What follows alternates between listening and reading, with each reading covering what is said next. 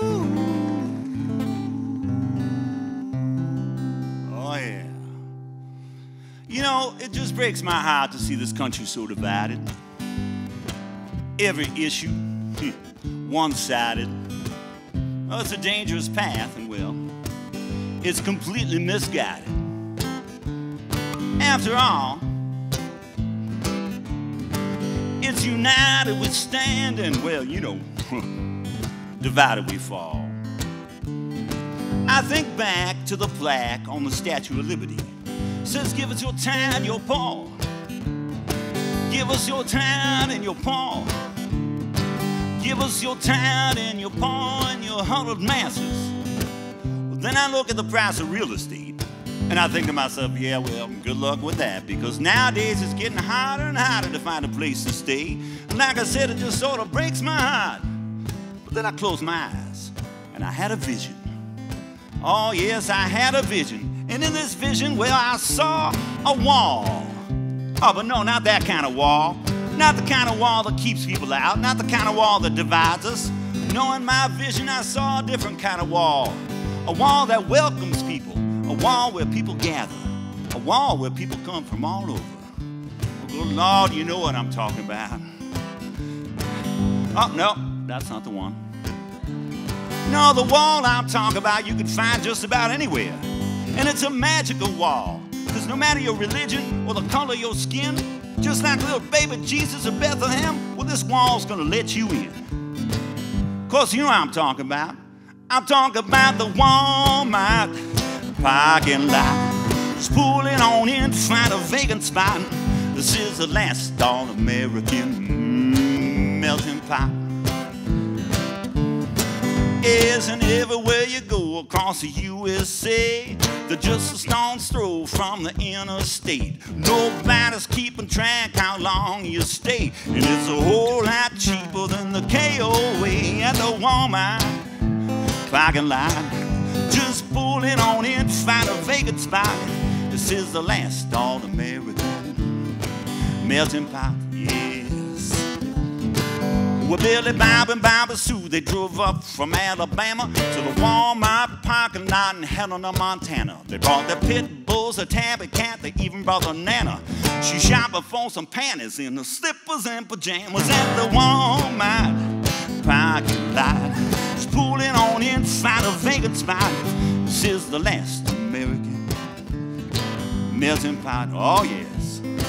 Yeah, we got CEOs dressed in fancy clothes, driving these big ass diesel pushers that cost more than your home. Yeah, that thing costs more than your home. Unless you live in Bozeman. Yes, and we got we got retired plumbers. The wife is thrifty. She built a custom pop top for the F-250.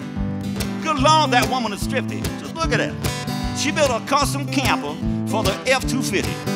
There's a grizzled old vet who served in Vietnam, parked next to some hippies in a VW van. But neither one would hesitate to lend you a hand. Well, that's what's so great about the promised land and the parking lot. Or just pulling on in find a vacant spot. This is the last American melting pot. Yeah. So let's say you're uh, traveling across the USA. It's getting sort of late, and well, you need a place to stay. So you say, hey, babe, why don't we stay at the KOA? So you called up the KOA. And what do they say at the KOA? Well, it turns out that the KOA hmm, is $50 a day. What, $50 a day to stay at the KOA? Do you think yourself, no freaking way. But where else can we stay? Because the Sears and J.C. Penney's both went bye-bye. Besides the mall cops will kick you out, so don't even try. You find a quiet street in a neighborhood. Well, then they call the police. They think you're up to no good. And you can't park at Target. You can't park at Target. Uh, so you can't park at Target because they put up a fuss. Why is it they think they're so much better than us? That's why you'll find me at the Walmart parking lot. Pulling on in, find a vacant spot.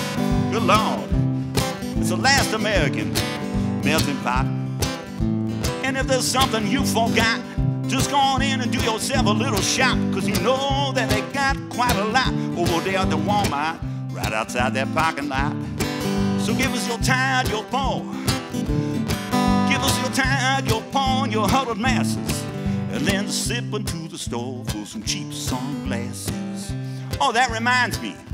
You can actually still buy CDs. Yeah, you can actually go in there and still get CDs.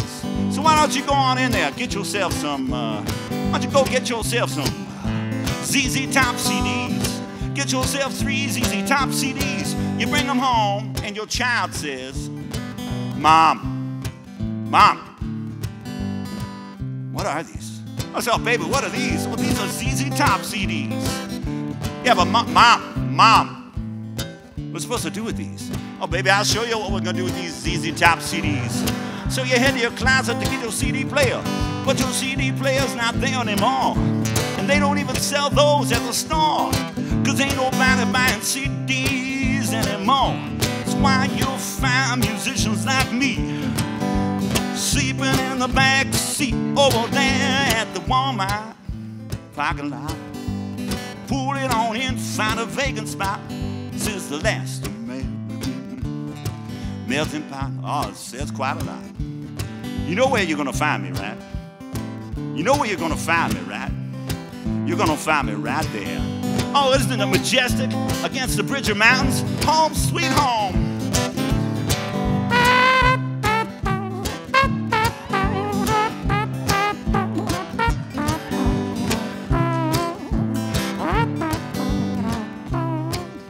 over there the Walmart Park.